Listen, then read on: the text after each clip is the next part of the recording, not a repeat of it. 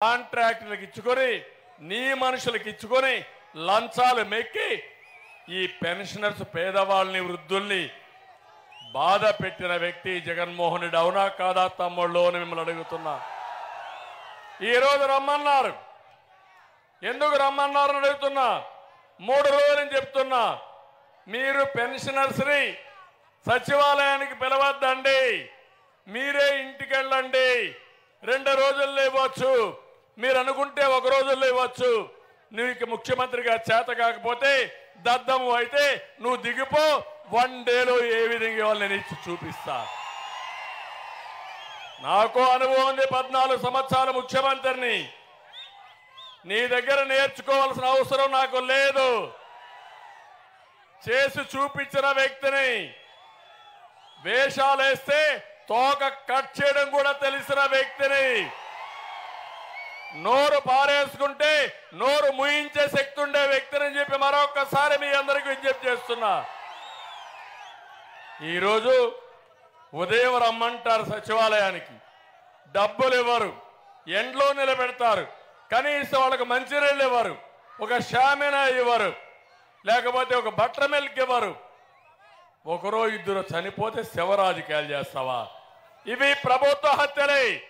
మీరే హత్యలు చేశారు పేదవాణ్ణి వృద్ధుల్ని. ఆ పాపం ఊరికే పోదు జగన్మోహన్ రెడ్డి. బాబాయిని చంపి ఇప్పుడు హత్య వేరే వాళ్ళ కూతురు పైన పెట్టి పెట్టే పరిస్థితికి వచ్చాం ఏం తమ్ముళ్ళని అడుగుతున్నా? ఊకెళ్ళి బాబాయ్! ఊకెళ్ళి బాబాయ్! ఊకెళ్ళి బాబాయ్! ఎవరు చంపారు తెలుసు కదా మీకు? తెలుసు అంటే పైకి ఎత్తండి తెలుసనే వాళ్ళు చేలు పైకి ఎత్తండి జగన్మోహన్ రెడ్డి నువ్వు అనుకుంటున్నావు. నేను చంపి ఏం చెప్తే అది ప్రజలు నమ్మతారని. అంటే అందరి చెవుల్లో పూలు పెట్టాలనుకుంటున్నావు కానీ అందరూ కలిసి నీ చెవులో పూలు పెట్టి శాశ్వతంగా రాజకీయ సమాధి చేసే రోజు దగ్గరలోనే ఉంది. చేస్తారా లేదా? భూస్థాపితం చేస్తారా లేదా పార్టీని? తమాషా అనుకోవద్దు. వృద్ధులు చంపేస్తావా నువ్వు? వాళ్ళ ఘోష నీకు పట్టదా? మూడు రోజుల నుంచి అరుస్తున్నా నేను. సిఎస్కు ఫోన్ చేశా. ఎలక్షన్ కమిషన్కు ఫోన్ చేశా. ఒకటే చెప్పాను. ఎందుకు వాళ్ళు రమ్మంటున్నారు మీరు? మొదటి తారీఖు ఎందుకు ఇవ్వరు? ఇవ్వండి అని చెప్పి డిమాండ్ చేశా.